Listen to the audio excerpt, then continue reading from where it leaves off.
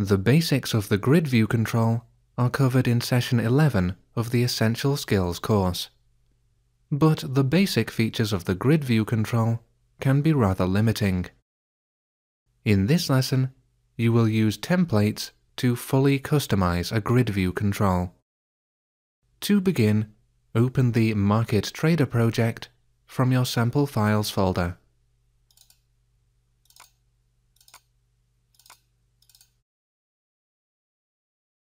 Now view quoteadmin.aspx in your web browser.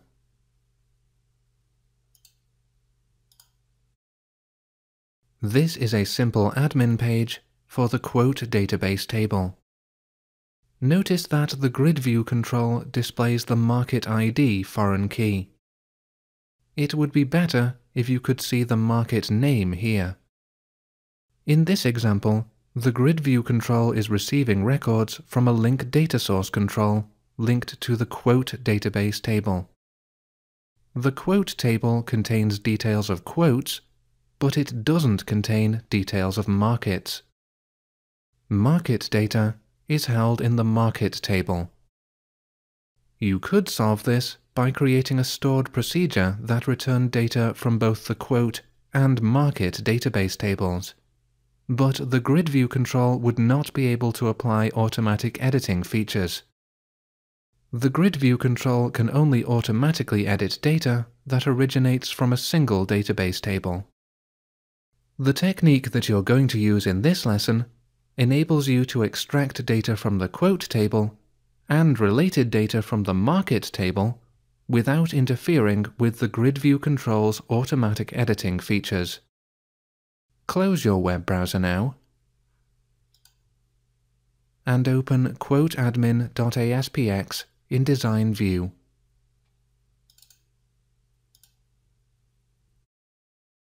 Now you're going to replace the Market ID in the grid view with a new Template field.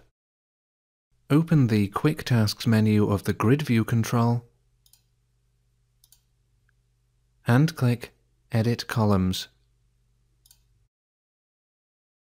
Now remove the Market ID field from the Selected Fields list. Add a new Template field from the Available Fields list Then use the arrow buttons to move the new template field to the top of the list and set the header text property of the new template field to Market. Then click OK. If you have trouble with any of these steps, refer to session 11 of the Essential Skills course. Next, you're going to customize your new template field to display the market name. Open the Quick Tasks menu of the Grid View control if it isn't open already, and click Edit Templates. The Grid View control switches to Template Editing mode. Now add a label control to the item template by dragging and dropping it into the item template box. set the ID property of the new label to label market name. Now open the Quick Tasks menu of the new Label control and click Edit Data Bindings. A dialog appears allowing you to select a data field to display in the control you're going to use a custom binding to find the related record in the market table and return its market name field. Click the Custom Binding radio button if it isn't selected already, and type the following code into the code expression box. eval market dot market name this code works because LINQ is aware of the relationship between the quote table and the market table. You can retrieve data from any related database tables in this way.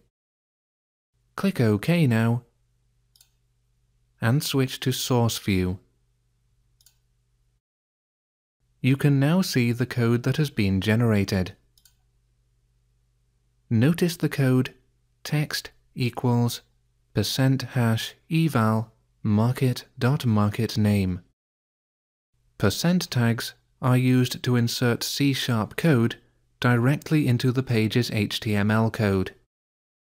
The eval method runs during the row data bound event of the grid view control. It is used to display values from the grid view control's data source. You could achieve the same result by adding C-sharp code to the row data bound event handler of the grid view control. But the technique that you've used requires less code. View quoteadmin.aspx in your web browser now and as you can see, the market name is displayed as expected. Now click one of the Edit buttons next to a record.